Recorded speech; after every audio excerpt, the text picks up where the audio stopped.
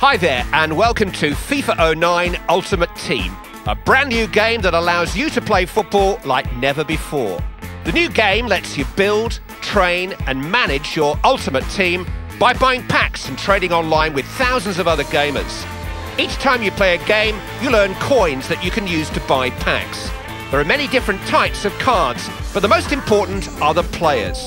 When you get a player in a pack, that player is then available to play in your ultimate team for as long as his contract is valid.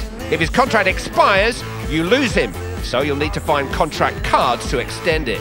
Once you have your team, you can take them into a game and play in online or offline league games, which will earn you credits and allow entry into one of the 36 online and offline tournaments, and only the best of the best will be able to fill their trophy room. Be sure to use the gameplay cards to give your team that extra advantage. You're about to receive your starter pack and create your team captain. You'll also receive your first kits, training arena and home stadium. These will be all the basics required to get you started. But if you really want to compete at the highest level, get to the top of the leaderboards and fill out the trophy room, you'll need to buy more packs and manage your team well. If you need any more information on aspects of the game, be sure to visit the tutorial section. Best of luck and we'll see you out on the field.